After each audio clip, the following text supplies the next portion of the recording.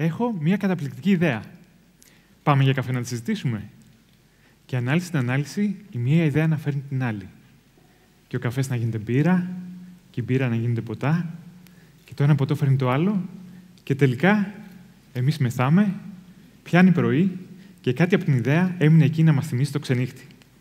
Αλλά η ίδια ιδέα δυστυχώς πέθανε εκεί. Και έτσι κάποιες τρομερές ιδέες πνίγηκαν σε τσίπουρα, μπύρες και ουίσκια. Άλλες πάλι ιδέες πέθαναν από άλλες προτεραιότητες, από σχόλια τρίτων ή από φόβο αποτυχίας. Α αναπαυτούν όλες εν ειρήνη. Το ζήσατε και εσείς αυτό κάποια στιγμή. Έτσι δεν είναι; Λοιπόν, καιρός να πάρετε την ιδέα σας πιο σοβαρά. Σήμερα, λοιπόν, θα σας μιλήσω για την ιστορία μιας περιβαλλοντικής ιδέας, η οποία χτίστηκε πάνω σε άλλες ιδέες, σε αποτυχίες, αλλά και σε προσωπικές εμπειρίες. Η πρώτη μου περιβαλλοντική ιδέα ήρθε το 1994, όταν ήμουν πρώτη γυμνασίου. Τότε είχα πρωτοδιαβάσει ένα περιοδικό της WWF. Σκέφτηκα, γιατί να μην εκδώσω κι εγώ κάτι για το περιβάλλον; Έτσι λοιπόν αποφάσισα να εκδώσω κι εγώ τη δική μου οικολογική εφημερίδα. Το όνομά της, ο ΣΑΜ, Οικολογικό Σωματείο Άνω Μακρυράχης. Ήμουν σίγουρος ότι θα έκανε πάταγο στη γειτονιά μου. Και μάλιστα το business plan έλεγε ότι αν πήγαινε καλά, θα πουλιόταν σε όλη την καλαμαριά. Άσε που θα εντυπωσίαζα και τη Μαρία. Δυστυχώς έμεινε στο πρώτο φύλλο τυπωμένος στη γραφομηχανή του μπαμπά μου. Προτίμησα να παίξω ποδόσφαιρο εκείνη την περίοδο από το να ασχοληθώ πιο σοβαρά με την εκδοτική μου προσφορά στο περιβάλλον. Εξάλλου, η Μαρία είχε μάτια για άλλον. Πάντως, ο σπόρο της περιβαλλοντικής ευαισθησίας είχε ήδη μπει. Το επόμενο βήμα ήρθε στο Πανεπιστήμιο. Σπούδασα μηχανολόγος μηχανικός στην Κοζάνη. Βλέποντας πρώτη φορά τα λιγνητορυχεία, κάποιος μπορεί να σκεφτεί. Ο εθνικός μας ενεργειακός πλούτος. Εγώ σκέφτηκα, όχι άλλο κάρβουνο. Στον πλανήτη μας, το 1981, όταν γεννήθηκα, κατοικούσαν 4,5 δισεκατομμύρια άτομα. Σήμερα ξεπερνούν τα 7,5 δισεκατομμύρια. Κάθε 5 λεπτά που περνάνε, αυτή η αίθουσα των περίπου 700 θέσεων που κάθεστε σήμερα γεμίζει με τους νέους επιπλέον κατοίκους του πλανήτη μας. Όλος αυτός ο κόσμος πρέπει να φάει, να πιει, να ντυθεί, να ζεσταθεί, να μετακινηθεί, να παραγάγει και να καταναλώσει αγαθά. Και αυτό φυσικά απαιτεί περισσότερη χρήση και κατανάλωση ενέργειας. Με την κατανάλωση ενέργειας από ορυκτά καύσιμα όπως άνθρακας, φυσικό αέριο και πετρέλαιο, εκλείουμε στην ατμόσφαιρα περίπου 30 δισεκατομμύρια τόνους διοξιδίου του άνθρακα ετησίως.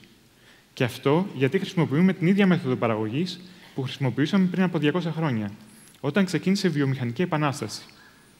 Τότε ο πληθυσμός της γης ήταν μόνο ένα δις.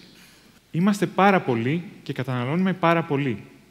Μέσα σε ένα χρόνο καταναλώνουμε την ενέργεια που έκανε κάποια εκατομμύρια χρόνια να δημιουργηθεί από νεκρούς οργανισμούς που στηβάχτηκαν στα έγκατα της γης και δημιούργησαν τα ορυκτά καύσιμα. Και αποτέλεσμα αυτό της αλόγιστης χρήσης και καύσης ορεικτών καυσίμων είναι η κλιματική αλλαγή. Τη βιώνουμε σήμερα και θα τη βιώνουν και τα παιδιά μας. Η ίδια η βιόσφαιρα και η ίδια μας η επιβίωση θα επηρεαστούν από την κλιματική αλλαγή. Οπότε κάτι έπρεπε να αλλάξει. Κάτι πρέπει επιγόντως να αλλάξει. Στον κρίζο φόντο αυτό, λοιπόν, στο πανεπιστήμιο που σπούδασα στην Κοζάνη, ήρθα για πρώτη φορά σε επαφή με τις ανανεώσιμες πηγές ενέργειας.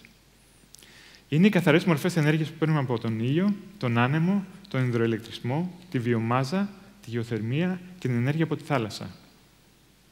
Διαβάζοντας τις διδακτικές σημειώσεις των ανανεώσιμων πηγών, κάτι έλαμψε μέσα μου. Και τότε ήξερα ότι το μέλλον μου ανήκει εκεί. Και αυτό ήταν ένα δεύτερο βήμα. Ήταν ένα άλμα ζωής. Έτσι, συνέχισα μεταπτυχιακέ σπουδές στη Σουηδία στην αηφόρο ανάπτυξη και τα τελευταία 12 χρόνια έχω αλλάξει τέσσερις πόλεις και δύο χώρες κάνοντα τη δουλειά που αγαπώ. Δουλεύω σε θαλάσσια ολικά πάρκα. Για όποιον δεν ξέρει τι είναι τα θαλάσσια ολικά, είναι όπως αυτά που βλέπετε στην ξηρά, απλά τα θεμέλια κρύβονται κάτω από την επιφάνεια της θάλασσας. Είχα την τύχη να συμμετάσχω στην ανάπτυξη και υλοποίηση μερικών από τα μεγαλύτερα θαλάσσια ολικά πάρκα παγκοσμίως, που σήμερα τροφοδοτούν 4 εκατομμύρια πολίτες με καθαρή ενέργεια από τον άνεμο. Είδα το σχεδιασμό, την κατασκευή και τη λειτουργία αυτών των έργων. Συνάντησα φίλους και συνεργάτες ομοειδεάτες που ήθελαν να αλλάξουν τον κόσμο για κάτι καλύτερο. Μου άρεσε τρομερά η δουλειά που έκανα. Έτσι, το 2016 παρετήθηκα. Παρετήθηκα από τη δουλειά που υπηρέτησα με αγάπη για έξι χρόνια και πήρα τα βουνά, στην κυριολεξία, και τη θάλασσα γιατί ήταν καλοκαίρι στην Ελλάδα. Ήταν μια απόφαση που άλλαξε τη ζωή μου. Λίγους μήνες αργότερα, αποφάσισα να ανοίξω τη δική μου εταιρεία και με ούριο άνεμο άνοιξα πανιά. Και αυτό ήταν το δικό μου New Land. Ένα χρόνο αργότερα με κάλεσαν να διδάξω για θαλάσσια ολικά στο Πανεπιστήμιο της Λισαβόνας. Και μετά τη διάλεξη αποθανάτησα αυτή τη φωτογραφία. Και κάπως έτσι γεννήθηκε η περιβαλλοντική ιδέα που με φέρνει εδώ σήμερα. Με το που έβγαλα αυτή τη φωτογραφία, αυτές οι άσπρες μπάλε που βλέπετε μου θύμισαν τα πιόνια από ένα επιτραπέζιο παιχνίδι που έπαιζα μικρός με τα αδέρφια μου. Αν αναρωτιέστε ποιος είμαι, είμαι ο τέρμα αριστερά. Βγάζοντας λοιπόν τη φωτογραφία, θυμήθηκα ένα παιχνίδι που παίζαμε και λεγόταν Αναζητώντας πετρέλαιο. Και τότε αναρωτήθηκα, τα σημερινά παιδιά με τι παιχνίδια άραγε θα παίζουν; Προφανώς θα παίζουν με PlayStation και παιχνίδια στο κινητό και στο διαδίκτυο. Αν έπαιζαν όμως ένα διαδραστικό παιχνίδι, τι παιχνίδι θα ήταν αυτό; Έτσι προέκυψε το Age of Renewables, ελληνιστή η εποχή των ανανεώσιμων. Ένα εκπαιδευτικό παιχνίδι καρτών που έχει ως σκοπό να μοιήσει τις νεότερες γενιές στις ανανεώσιμες πηγές ενέργειας. Η πρωτοτυπία του παιχνιδιού έγκυται στο γεγονός ότι οι παίχτε ανταγωνίζονται μεταξύ τους για τη δημιουργία περιβαλλοντικών έργων. Αυτό γίνεται συνδυάζοντας την κατάλληλη πηγή, περιοχή και τεχνολογία, καθώς και μια ομάδα ειδικών, την EcoTeam, οι οποίοι συνεργάζονται μεταξύ τους προκειμένου να δημιουργηθούν περιβαλλοντικά έργα. Το παιχνίδι διαθέτει έναν καλό, τον κύριο πρωτοπόρο, ο οποίος είναι ο Τέσλα. Αυτός σας βοηθάει στη δημιουργία πρωτοπόρων ιδεών για τη μετάβαση στην πράσινη οικονομία. Το παιχνίδι όμως διαθέτει και έναν κακό, τον κύριο Not in my backyard. Ο κύριος μακριά από εδώ, ο οποίος θα προσπαθήσει να ακυρώσει τα περιβαλλοντικά έργα προκειμένου να προστατεύσει τα συμφέροντα της οικονομίας άνθρακα. Η ιδέα, μετά από κάποια ξενύχτια, προχώρησε στα πρώτα σχέδια. Κάποιες φωτογραφίες από το ίντερνετ, εικονίδια του Word και ένα χοντρό χαρτόνι Α4 οδήγησαν στην πρώτη εκτύπωση του παιχνιδιού. Και μετά, τι απομένει, δοκιμή και παιχνίδι. Πολύ δοκιμή και πολύ παιχνίδι, πρώτα με φίλους στο εξωτερικό και στη Θεσσαλονίκη και αργότερα με ειδικούς στο τεστάρισμα παιχνιδιών. Και όπως στο παιχνίδι η EcoTeam συνεργάζεται προκειμένου να βγει το επιθυμητό αποτέλεσμα, έτσι και για αυτήν την ιδέα μια ομάδα συνεργάστηκε προκειμένου να βγει ένα καλό αποτέλεσμα.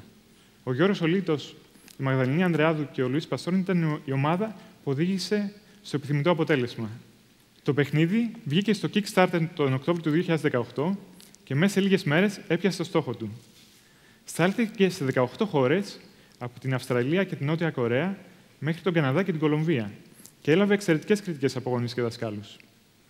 Η μεγαλύτερη μου όμως χαρά ήρθε όταν ένας γονιός με προσέγγισε και μου είπε ότι τα παιδιά του έχουν ξετρελαθεί με το παιχνίδι.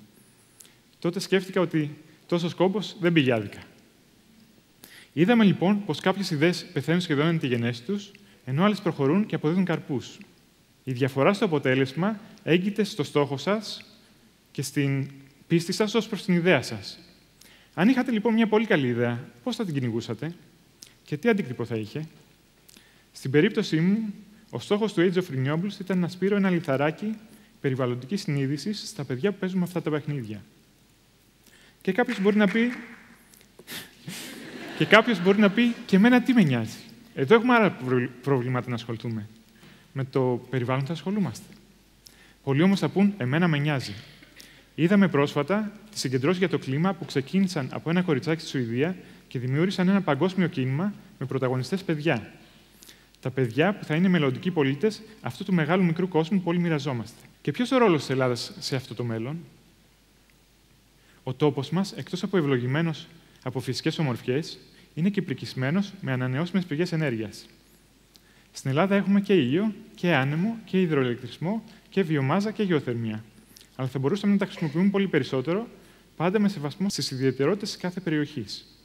Πώς λοιπόν θα αλλάξει ο ενεργειακός μας χάρτης, ας κάνουμε ένα ταξίδι στο μέλλον. Βρισκόμαστε το έτος 2060 και μόλις προσγειώνεστε στο αεροδρόμιο της Θεσσαλονίκης. Με το που βγαίνετε από το αεροδρόμιο, βρίσκεστε σε μια πλατφόρμα τρένου. Ναι, το Το μετρό είναι επιτέλους γεγονός και μόλις έφτασε εκεί.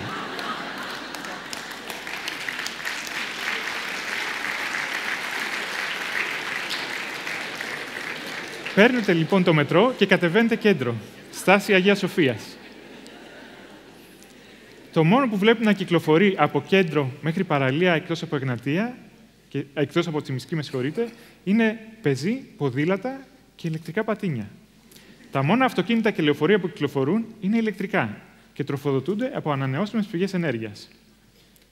Τα φουγάρα των τελευταίων λιγνητικών στην Κοζάνη έχουν σβήσει πριν από 20 χρόνια. Τη θέση των λιγνητορυχείων έχουν πάρει ενεργειακές καλλιέργειες, φωτοβολταϊκά πάρκα και σταθμοί βιομάζας. Η Θεσσαλονίκη ηλεκτροδοτείται κυρίως από φωτοβολταϊκά, εντός και εκτός πόλης και σταθμούς βιομάζας. Ενώ η Νότια Ελλάδα καλύπτεται από ηλιακά και ολικά πάρκα διάσπαρτα στο Αιγαίο. Οι ηλεκτρικές συσκευές που χρησιμοποιείτε στα σπίτια σας είναι έξυπνες και καταναλώνουν ενέργεια ανάλογα με τη δεδομένη παραγωγή. Οι περιβαλλοντικές ιδέες έχουν γίνει πλέον συνείδηση όλων των πολιτών. Με οδηγούς, παιδιά που ίσως κάποτε έπαιζαν με αυτά τα παιχνίδια. Και όλοι ζούμε την πραγματική Age of Renewables. Καλώς ήρθατε στην εποχή των ανανεώσιμων πηγών ενέργειας. Σας ευχαριστώ πολύ.